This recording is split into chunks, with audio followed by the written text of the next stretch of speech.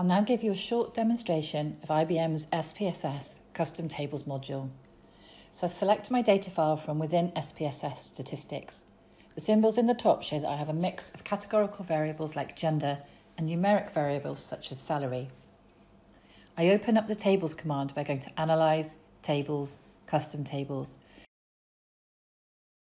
where you can also see that you can handle multiple responses. Thanks to the icons down the left, SPSS will help me with the correct statistics. So if I select job category as a row, you will see that the count of the statistic job title will be presented. If I put gender into the columns, then you can see that I get a table that allows me to study the relationship between these two variables. If you want to add a test, you can choose that from the additional tabs available here. But I have what I need for now, so I click OK. Here you see the result in the result window that is called the viewer, or you can output in SPSS statistics.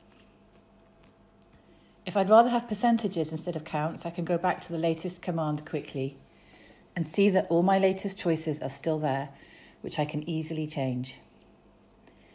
If I right click on the job categories and from there can choose summary and statistics and add column percentages and then click on OK.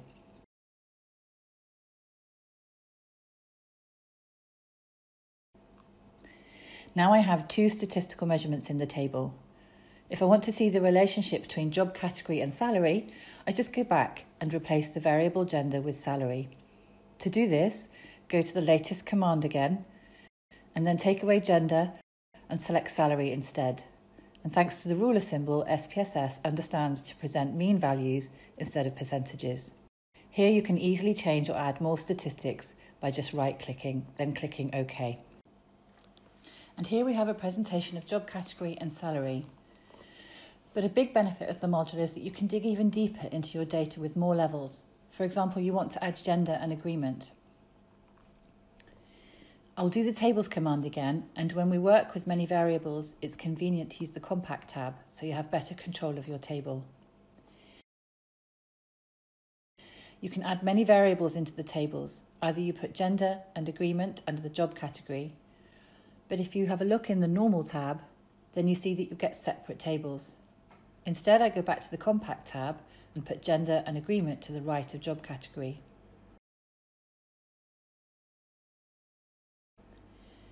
If I go back to the Normal tab, I can now see that all categories are nested.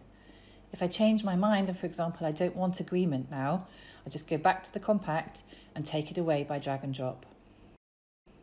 If I click OK, you can see that I will now get a nested table.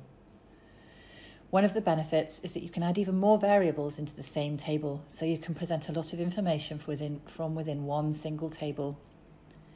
Thanks for watching this video of the module IBM SPSS Custom Tables.